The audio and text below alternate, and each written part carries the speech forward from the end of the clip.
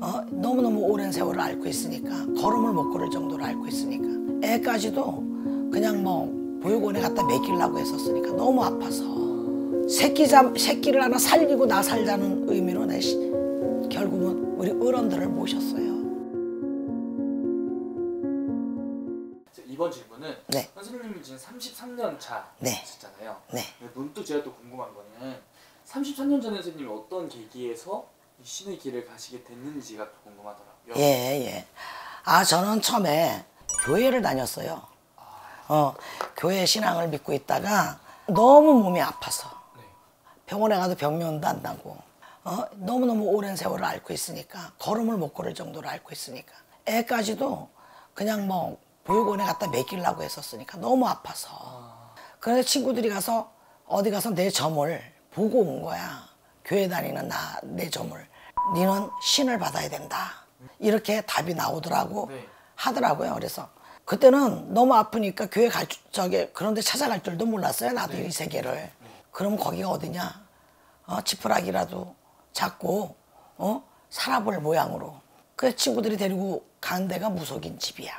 그래 거길 가가지고 앉아서 그 법당이 화려한 법당도 아니고 아 이렇게 하문으로 글문을 모셨던 법당이야 그런데 뭐가 보이는지 거기서 막 내가 나 대산통곡을 하고 우는 거야 거기서 막 엎드려서 울고 나니까 마음이 그 몇십 년 고통 받았던 그 마음이 싹 가라앉는 거 아니겠어요? 어 그래가지고 이제 거기에 지주보사님 오셔가지고 네.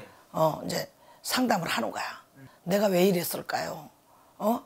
나 이 세계도 모르고 난 교회만 다녔는데 난 왜 이랬을까요? 이렇게 물었더니 그 보사님이 막 또 나하고 상담을 하는 와중에도 눈물을 흘리면서 당신 내 역대에는 이렇게 빌던 응? 신이 계셨고 이렇게 모시던 신이 계셨는데 근데 나도 모르게 눈물이 막 나와 나 지금 가진 돈이 없으니까 어 내가 달력에다 체크를 하면서 한 달이 안 되게 체크를 하면서 내가 요 날짜 요 날짜 돈 만들어 가지고 오면은요 나 좀 살려주세요. 그러니까 아 그렇게 하라는 거야. 그래 막막한데 막막한데 돈이 없어 막막한데 내 머릿속에서 부산을 가자. 형제를 찾아가자. 그때 우리 형제들도 내가 공건하니까 알리질 않아가지고 한 20년 세월을 나하고 연락이 끊겼던 사이야. 그런데 알려주시면서 부산을 가서 언니를 만났어.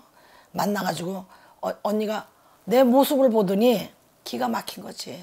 그 이쁘던 내 동생이 이게 어, 건부제기가 돼가지고 오고 옷도 잘 갖춰 입었다는 게 세상 물정을 잘 몰라놓으니까 옷도 희한하게도 입고 왔고 우리 어린 새끼는 등에다 업고 내려간 거야 우리 아들을. 그래가지고 가서 상담을 하니까 언니 내가 신을 안 가면 새끼도 죽고 나도 죽고 다 죽어야 된대.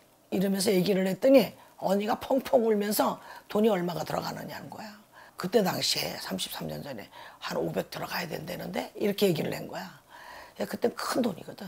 또 부산에 오빠가 있고 울산에 동생이 있어. 그 삼남매가 의논공론 해가지고 그 돈을 아구를 맞춰주더라고. 이제 내림을 받아서 법당을 모시는데 저 20만 원씩 주고 세를 들어간 거야.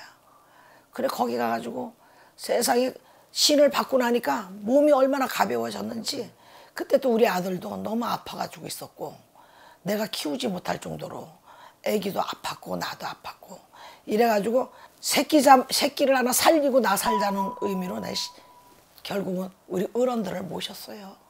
지금은 그럼 선생님은 이 길을 걸어오신 거에 대한 후회는 전혀 없으시죠? 후회는 절대 없죠. 예. 이제는 뭐 전국적으로 옥련함이 이름도 나 있고 제자도 많이 양성시켜 놨고 우리 제자가 어 어머니 유튜브에 한번 나가보세요 하는 것도 내가 거절을 했는데 요번에 인천 성지사 때문에 이렇게 내가 받아들이게 됐네. 또 기원이 됐네요. 또. 감사합니다. 이게 모든 게 인연이 따로 있나 봐.